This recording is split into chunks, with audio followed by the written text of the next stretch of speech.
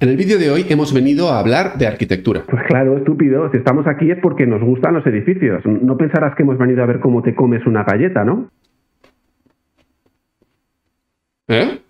Vale, sí, la idea de este canal es la de siempre, conocer construcciones increíbles. Pero en esta ocasión, los arquitectos de los diseños que vamos a ver llevan perfeccionando su sistema durante miles de años. Porque, seamos sinceros, el ser humano ha creado a lo largo de toda su historia maravillas alucinantes e incluso algunas de ellas han perdurado en el tiempo. Pero, ¿qué queréis que os diga? Ninguna como las de los animales. Quizás porque estas construcciones que vamos a conocer les sirve para defenderse de los depredadores y más te vale que salga bien la cosa. O quizás porque llevan tantos años interiorizando su mecánica que ya son capaces de hacerlo con los ojos cerrados. El caso es que hoy vamos a analizar 10 especies animales con unas madrigueras que podrían estar en el ranking de los edificios más espectaculares de la historia. Y si todavía no me creéis, ya me lo contáis al final del vídeo.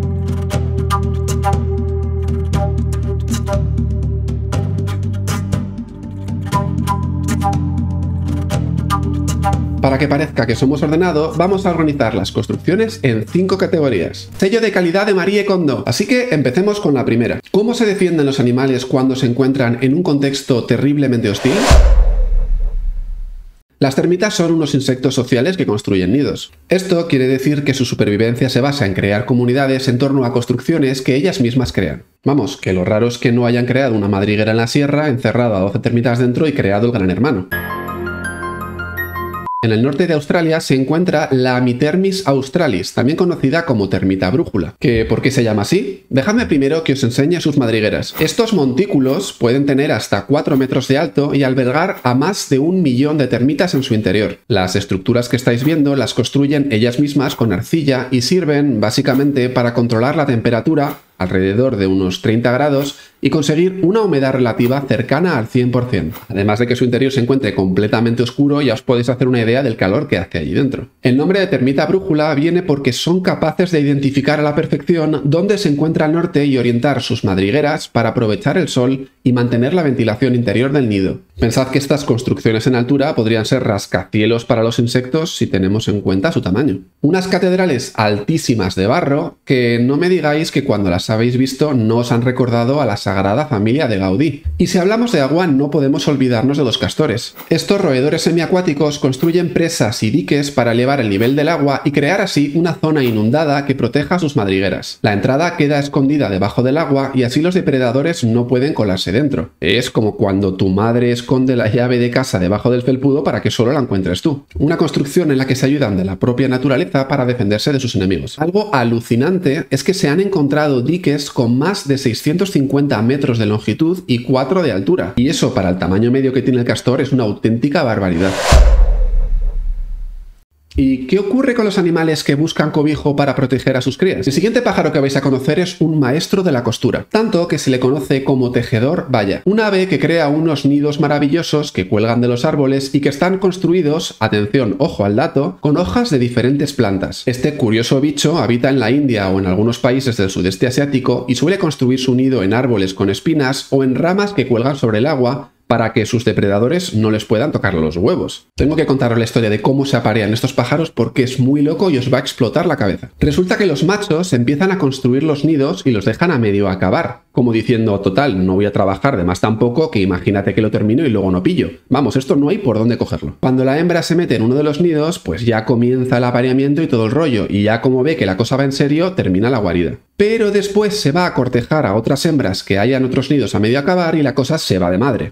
Como estos pájaros son polígamos, pues nada, lo hacen todos con todos y aquí paz y después gloria. Eso sí, luego el macho ayuda a alimentar a las crías y cero rencores. Esta otra ave, que se llama pájaro hornero, es muy típica de Argentina, Venezuela y Uruguay, y él solo es capaz de crear estos caparazones que estáis viendo. Sus nidos están hechos de barro y paja, como si fuesen hornos de leña de esos que ya no se fabrican. El interior es diferente del que hace el tejedor valla, en el sentido de que tiene una única cámara y esta suele ser más grande. Los nidos miden unos 25 centímetros de diámetro y lo curioso es que son abandonados después de haberlos utilizado. ¿Qué podrías decir? Pero muchachos, si el año pasado ya lo construiste y te quedó bien cuco, pues aprovecha e instálate en él. Pero nada, se lo dejan a otras especies para que lo disfruten ellos. Una arquitectura colaborativa. Hay unas abejas que se llaman Osmia aboseta que hacen algo muy diferente. Como son seres solitarios por naturaleza, no construyen colmenas como sus hermanas. Cuando llega la época del apareamiento, después del ñiqui ñiqui, el macho muere y a la hembra le queda la tarea de buscar el lugar para que nazca la cría. Y bueno, ya que no tienen colmenas, ella sola crea estos nidos tan coloridos por debajo del suelo con pétalos de flores y guardan dentro un único huevo. Eso sí, antes de ponerlo, llenan el nido de polen y néctar para que la cría tenga alimento cuando nazca. Vamos, que las abejas bebés nacen sin padre ni madre, pero con una casa preciosa llena de comida para ellos solos. Esta abeja solitaria fue descubierta hace unos años nada más, en 2009.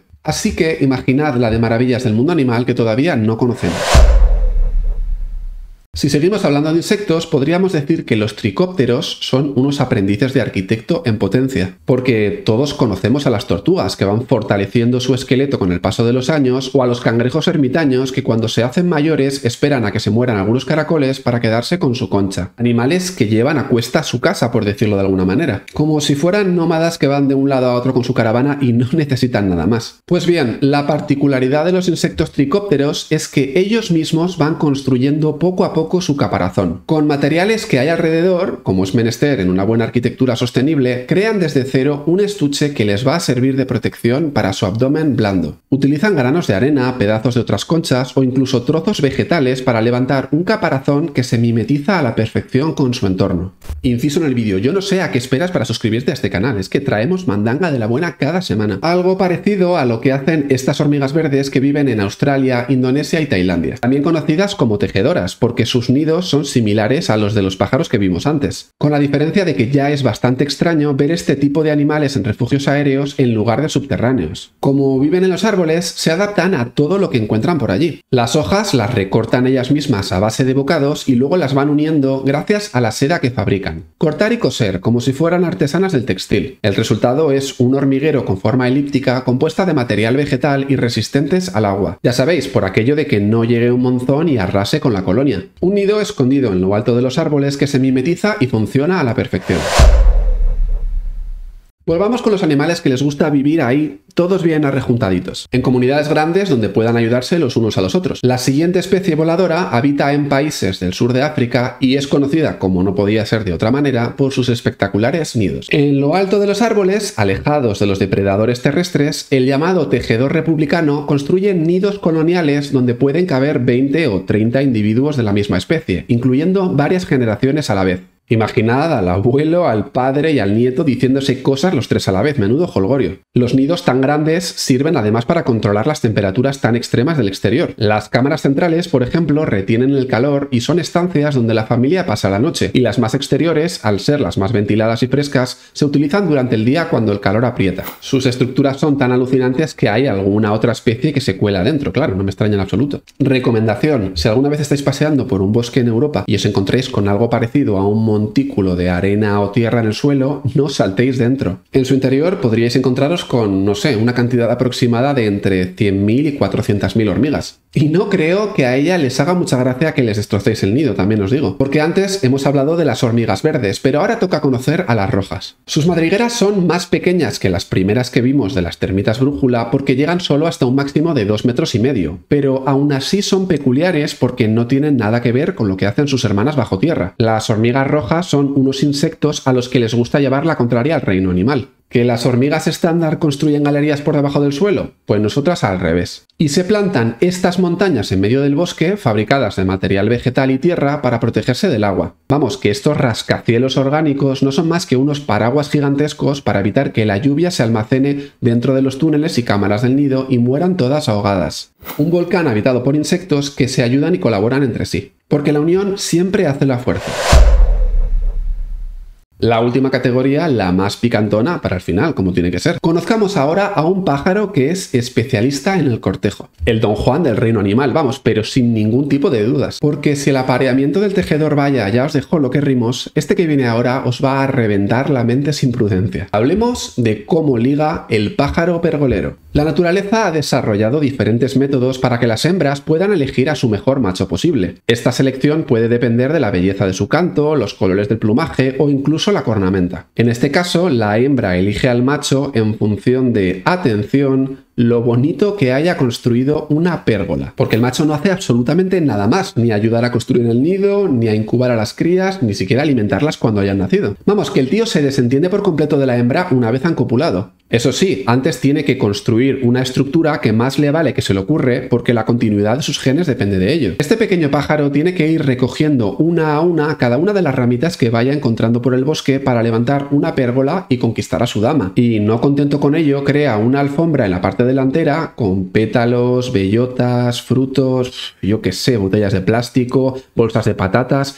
cualquier cosa colorida o brillante que se encuentre por el bosque para llamar la atención de las hembras. Y estas son muy exigentes, claro, que si lo único que van a hacer por ellas es apilar un amasijo de palitos, pues más vale que sea una obra de arte. Las hembras se pasan por allí como si estuvieran buscando piso idealista, se quedan dentro de la pérgola mirando cómo los machos realizan el cortejo, echan un frisky frisky rapidito y hasta el año que viene y que la naturaleza siga su curso. Un pájaro que necesita desarrollar dotes decorativas para echar un caliqueño. Os juro que es lo más extravagante que he oído nunca. Y hasta aquí el servicio comunitario de hoy. Si os ha molado, os animo a que reventéis el vídeo a likes y lo compartáis con vuestro cuñado para que tenga un tema interesante en la próxima reunión familiar. Y nada más, nos vemos dentro de muy poco en el próximo vídeo.